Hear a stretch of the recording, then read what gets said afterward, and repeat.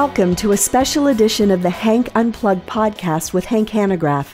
Hank is currently in the hospital undergoing an allogenic stem cell transplant and has been documenting his journey through a series of Facebook Live recordings that you can find on equip.org, the Bible Answer Man YouTube channel, and the Bible Answer Man Facebook page.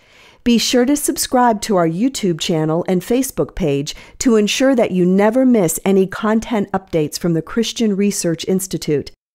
The following is the audio from Hank's Facebook Live recording on June 11, 2019, recorded just prior to receiving stem cells from his son, Paul Stephen Hanegraaff, in an allogenic stem cell transplant. Hank has since received the transplant and is doing remarkably well. He, along with his family and the rest of the team here at the Christian Research Institute, so very much appreciate your prayers for Hank and continued support as you stand shoulder to shoulder with us in the battle for life and truth. Well, another update from my room at Carolina Medical Center. This is uh, D Day for me, or probably more correctly, V-Day for me, Victory Day. It's Transplant Day. My son Paul is in a room at uh, Levine Cancer Center, and uh, his stem cells are being harvested. They're going to get at least six million. I probably already have them by now. And he's milking it for all it's worth. Like he's really, really, you know, really suffering. But anyway, my son Xander, my youngest son, I probably should have got his blood because he's a genius. Oh, I'm not a genius. yes, you are. At any rate, we had a great time this morning. Xander and I did a little Bible study. I was finishing the Gospel of Matthew, and uh, we got to Matthew chapter 28. And you'll recall that this is when the disciples went to Galilee to the mountain where Jesus had told them to go. And when they saw Jesus, they worshiped him. And then the text says, but some doubted. Now think about this. They're seeing the resurrected Christ on the mountain. Jesus is appearing to them, and yet some doubted.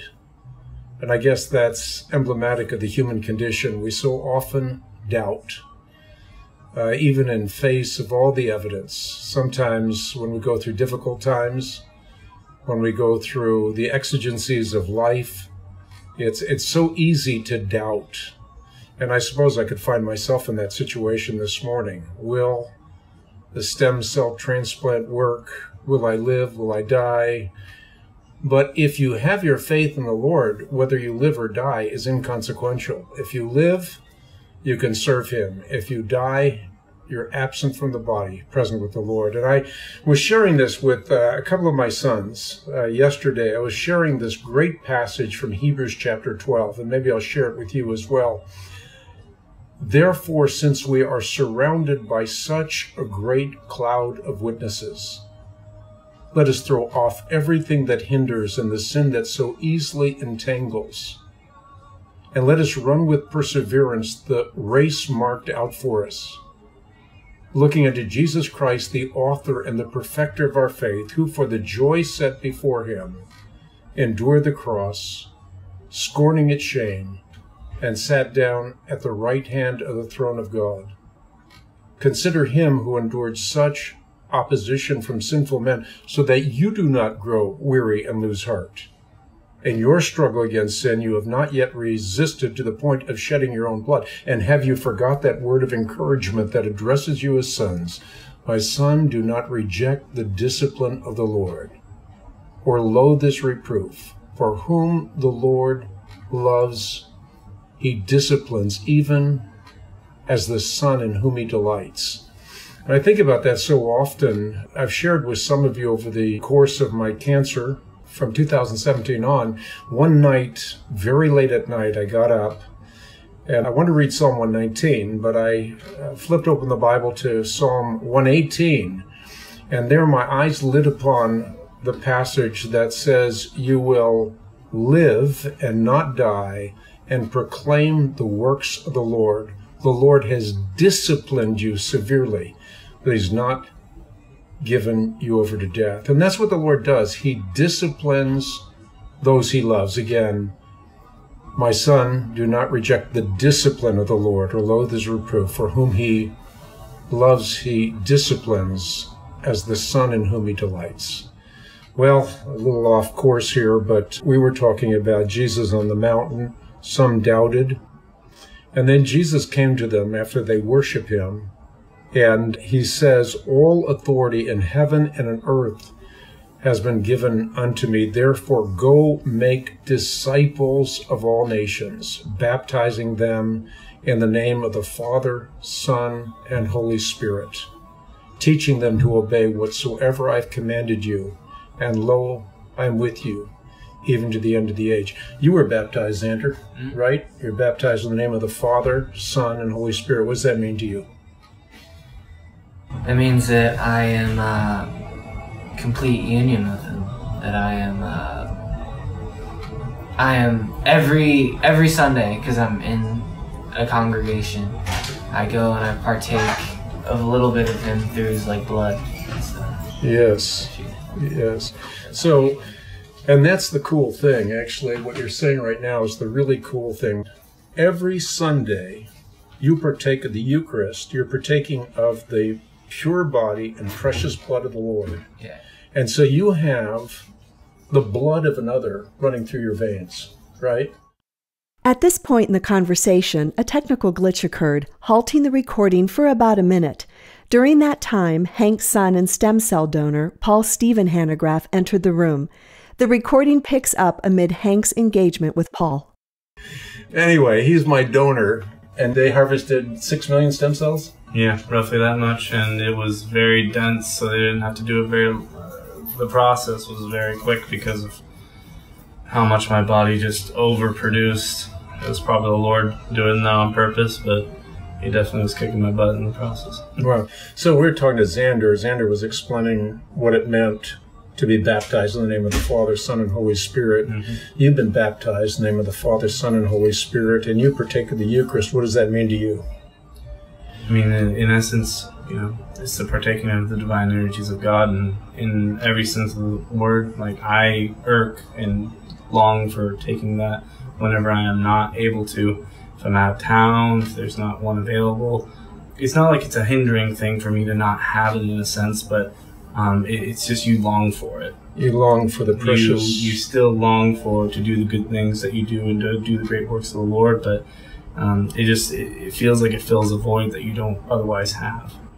Yeah, and I was thinking about the analogy. I haven't really thought through the analogy perfectly in my mind, but we have the blood of the Lord. We think about that as the real presence of Christ. It is a memorial, it is a remembrance, but it's more than that. We believe that this is the body, this is the blood of Christ. How that can be, we don't know. We don't try to explain. It's a mm-hmm. mystery uh, using a Latin phrase, it's called the Mysterium Tremendum et Fascinans, right? The mystery that causes us to tremble and yet attracts us. Now, I, I was thinking about the analogy, and maybe you guys can help me think through this, but so there's an analogy with what will happen to me in just a few hours, right? Because what will happen to me is I'm going to get your blood. Mm-hmm. So in uh, an hour, maybe two hours, I don't know exactly when it's going to happen your blood is going to be transfused into me. And so I'm going to have the blood of another person in me. And it's going to take over. And in some way, there's an analogy there. I don't want to state it incorrectly before I think through it, but there's an analogy for the blood of Jesus Christ coursing through our veins when we partake of the Eucharist, the real presence of Christ. And and now you're giving me the chance at a complete healing, which is what I'm praying for. A complete healing, but I'm really not praying for a complete healing as much as I'm praying that the Lord's will be done, right? Uh, I want to continue to serve Him in ministry and uh, be there for my children and my grandchildren and my great grandchildren. But ultimately, I want the will of the Lord to be done. We were talking about the Great Commission baptized in the name of the Father, Son, and Holy Spirit, teaching them to obey everything I've commanded you, and lo, I'm with you even to the end of the age. And I was thinking about that, Xander. We're, on the one hand, we are saved by God's grace through faith in Jesus Christ. But Ephesians 2 8, 9, and 10 tells us that we need to be imitators of Christ. It's not just believing right things about Him, it's becoming His imitators, right? And so we have to do those works that imitate the works of the Lord. Mm-hmm. What do you think about that, Xander? Well, yeah, it's through grace on a good account of your works. Your works show that you have good faith. Yeah, so our works don't earn us salvation, but they are works that are done. And James talks about that. He says, A man is not saved by faith alone, but by doing works, right? And then he gives examples in the Bible. You see that his faith and his actions were working together, and his faith was made complete by what he did. And the scripture was fulfilled that says, Abram believed God and it was credited to him as righteousness, and he was called God's friend. You see that a person is justified by what he does and not by faith alone. And then he gives the example of Rahab, who hid the spy. She had faith and she was justified by her faith. So James concludes, as the body without the spirit is dead, so faith without deeds is dead. If we have true faith, we will become imitators of Christ. We'll become Christians, imitators of Christ, those who bear the sacred name of Christ upon their lips. So, uh, But that doesn't mean we're perfect.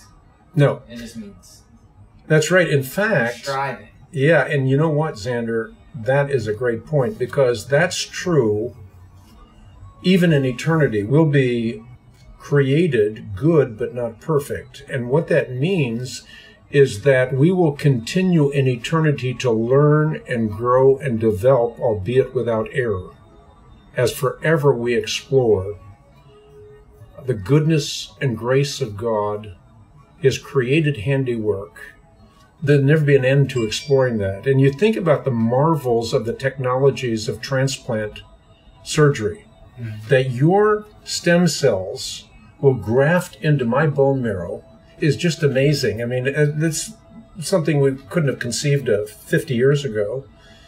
Uh, but now it's become a reality. But all of these things are understood by the Lord. And this is one of the great solaces I have as I go through the transplant is that the Lord created my inmost being. He knit me together in my mother's womb.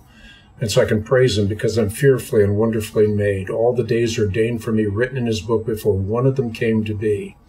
So, well, we could go on, but I can certainly face the next few hours and the next few weeks, if the Lord grants me that time, in the next few years or decades, with total peace, uh, total confidence, with not an ounce of anxiety, because I know in whom I have believed. He created my inmost being. And so uh, I am consecrated to Him. I'm looking forward to going through this with my son as I uh, we're going to have a little ceremony here. Paul's going to hand me his stem cells in a bag, and then uh, the, those stem cells will be given to me, and then they'll be infused in my body. And actually, there's an interesting process where there's a graft versus tumor effect, where his blood will fight whatever remaining cancer I might have in my body.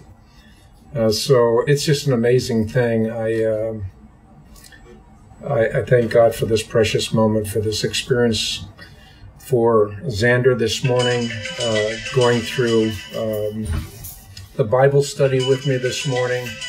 Uh, it's such a blessing to have uh, children that love the Lord.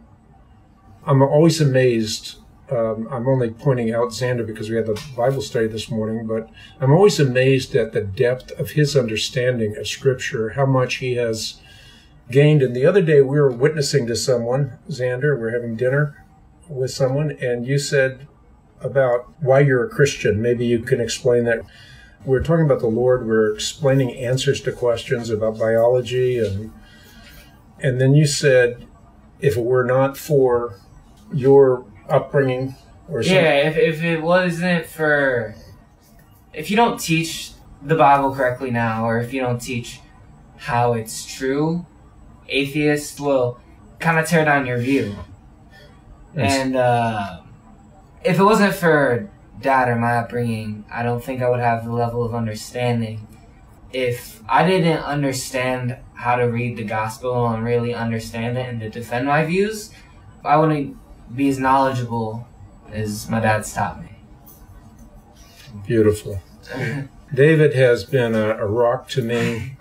His uh, his love for the Lord, the depth of his understanding, um, his commitment to the Lord. Do you have anything to say, David, about your faith in, in Christ in this process and uh, kind of watching the whole thing take place? The biggest thing is to just consistently rely on um, the community of believers uh, and and prayer. Uh, I think prayer has become to many an empty platitude, uh, where you say that you're praying for somebody, but you don't actually do it. Uh, and when you take prayer seriously, uh, I don't know that we have a stronger tool in our spiritual tool belt. Uh, is direct communion with the Lord, uh, and uh, the the biggest thing uh, that since the beginning of the process, I remember when you were first diagnosed, we went into your office and we prayed, and uh, you could really feel the Holy Spirit's presence. And I know that we talked about that this morning. That I feel two things that we often overlook that are some of the most powerful things in our human existence are prayer and the presence of the Holy Spirit. Yeah, our temple is the temple of the Holy Spirit. I'm glad you said that too, because it reminds me to thank from the bottom of my heart on behalf of myself and my family. So grateful for the prayers of God's people. Uh, they have encouraged me and strengthened me. People so often say, I'm praying for you, and as David just so well articulated, it can be an empty platitude. Oftentimes you say, Oh, thanks. Well, believe me, I, I do not take the prayers of God's people lightly. I'm deeply, deeply grateful for the people from all over the world that have contacted me and let me know that they're praying for me. I don't feel like I deserve the kind of attention that I get. I, I truly just receive it as a gift from the Lord. And I hope in some way uh, today I've been an encouragement to you. Uh, that's why I'm doing these videos as, as we all face those difficulties in life. Um, we never get away from them. I often say life is one challenge after another. We never get rid of the challenges. It's a matter of learning to deal with the challenges effectively, and uh, and we can do that by God's grace. God's grace is sufficient. He often gives us His grace, as I said before, at the moment we need it, and oftentimes not a moment before.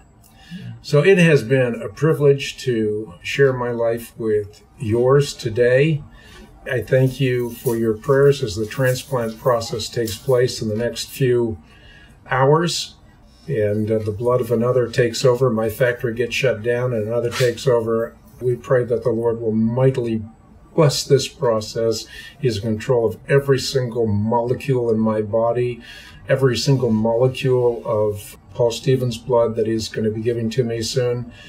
He's in control of everything, and and uh, to God be the glory. Great things He has done. I think of the great song by Horatio Spafford, "When peace." like a river attendeth my way, when sorrows like sea billows roll. Whatever my lot, thou hast taught me to say, it is well, it is well with my soul. Thanks for tuning in. And may God richly bless and use you so that when you stand before the judgment seat of Christ, he will say to you, Well done, good and faithful servant. You have been faithful over a few things, I'll give you many things enter thou into the joy of thy Lord. In the name of the Father, and the Son, and the Holy Spirit.